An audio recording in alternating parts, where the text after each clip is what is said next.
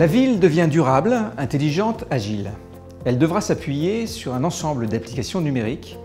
La ville vit donc sa révolution numérique qui aura des impacts sur les citoyens, la collectivité elle-même et sa gouvernance. Le comité Ville mobilise des entreprises qui offrent des solutions dans les domaines du transport ou de la santé, de la relation avec les citoyens, de la gestion de l'énergie ou des déchets.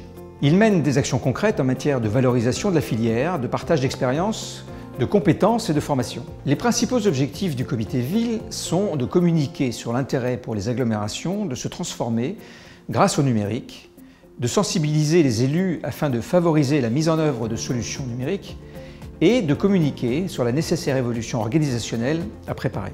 Le comité ville est constitué de sociétés de taille et d'horizons diverses, entreprises de services numériques, éditeurs de logiciels, opérateurs ou constructeurs. Elles participent aux six réunions annuelles du comité.